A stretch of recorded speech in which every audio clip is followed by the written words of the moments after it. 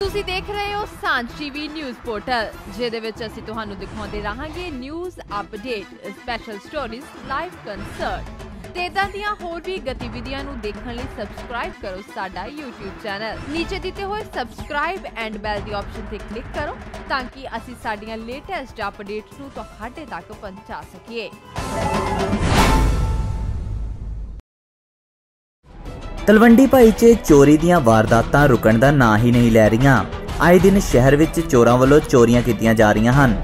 ਇਸੇ ਤਰ੍ਹਾਂ ਬੀਤੀ ਰਾਤ ਵਾਰਡ ਨੰਬਰ 1 ਦੀ ਡੀਏਵੀ ਕਲੋਨੀ ਦੇ ਇੱਕ ਘਰ ਨੂੰ ਚੋਰਾਂ ਨੇ ਆਪਣਾ ਨਿਸ਼ਾਨਾ ਬਣਾਇਆ।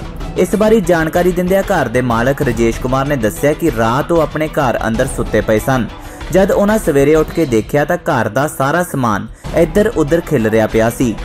ਜਦੋਂ ਉਹਨਾਂ ਸੀਸੀਟੀਵੀ ਕੈਮਰਾ ਚੈੱਕ ਕੀਤਾ ਤਾਂ ਉਸ ਵਿੱਚ ਦੋ ਚੋਰ ਨਜ਼ਰ ਆਏ ਅਤੇ ਉਹਨਾਂ ਤੁਰੰਤ ਇਸ ਘਟਨਾ ਬਾਰੇ ਸਥਾਨਕ ਪੁਲਿਸ ਨੂੰ ਇਤਲਾਹ ਕੀਤੀ।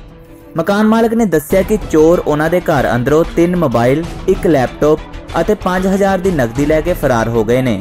ਫਿਲਹਾਲ ਪੁਲਿਸ ਵੱਲੋਂ ਮਾਮਲਾ ਦਰਜ ਕਰਕੇ ਚੋਰਾਂ ਦੀ ਭਾਲ ਸ਼ੁਰੂ ਕੀਤੀ ਗਈ ਹੈ।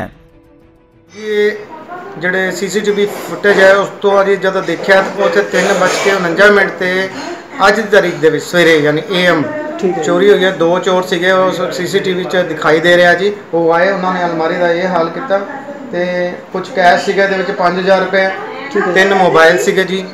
ਸੈਮਸੰਗ ਕੰਪਨੀ ਦੇ ਉਹ ਉਹਨਾਂ ਨੇ ਚੁਰਾ ਲਏ। ਇੱਕ ਪਰਲੇ ਕਮਰੇ 'ਚ ਇੱਕ ਲੈਪਟਾਪ ਹੈ ਡੈਲ ਕੰਪਨੀ ਦਾ ਉਹ ਵੀ ਉਹ ਨਾਲ ਲੈ ਗਏ।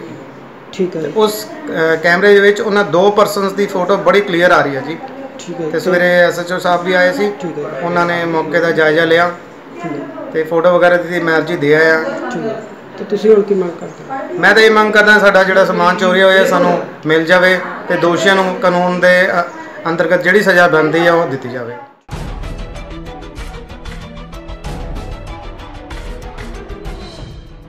ਤਲਵੰਡੀ ਭਾਈ ਤੋਂ ਪਰਮਜੀਤ ਪੰਮਾ ਦੀ ਰਿਪੋਰਟ।